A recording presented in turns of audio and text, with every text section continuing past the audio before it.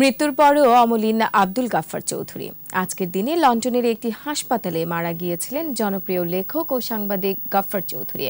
প্রথম প্রয়াণ বার্ষিকীতে মৃত্যুঞ্জয়ী এই বরেণ্য জনকে স্মরণ করেছেন অখিল পোদ্দার। জীবন সাহান্যের বেশ কটি বছর বাবার সঙ্গে ছায়ার মতো ছিলেন মেয়ে বিনিতা চৌধুরী।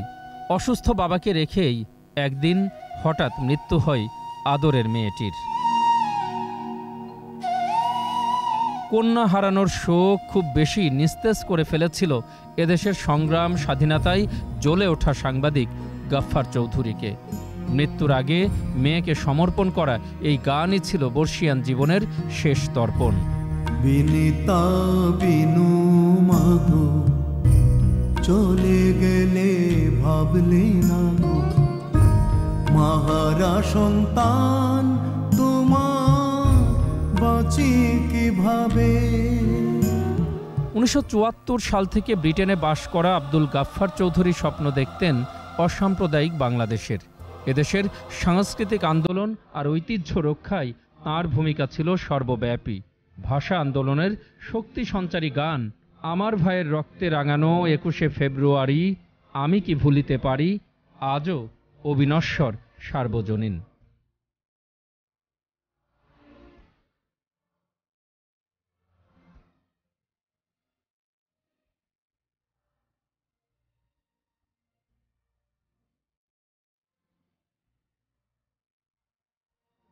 অতঃপর বাউান্ন থেকে একাত্তর।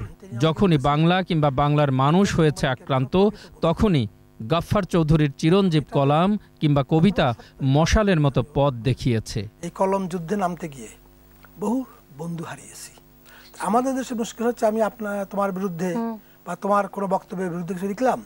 তুমি তার জবাব না দিয়ে বললে আরে অপরিচিত টাকা পেয়ে লেখে। কিংবা মৃত লোকের কে সাক্ষী মেনে লেখে। কিন্তু আমি মৃত লোককে সাক্ষী মেনে লিখি বা অর্থ পেয়েই লিখে থাকি। আমি যে বক্তব্যটা রেখেছি, তার প্রতিবাদ খুব কম হয়। আজীবন তিমির বিনাশী এই বুদ্ধিজীবী নিজ গুণে প্রতিটি মানুষের কাছে প্রথিত যশা। তার কাজই তাকে অনন্তকাল বাঁচিয়ে রাখবে। জয়তু আব্দুল গাফফার চৌধুরী। অখিল পোদ্দার, একুশে টেলিভিশন, ঢাকা।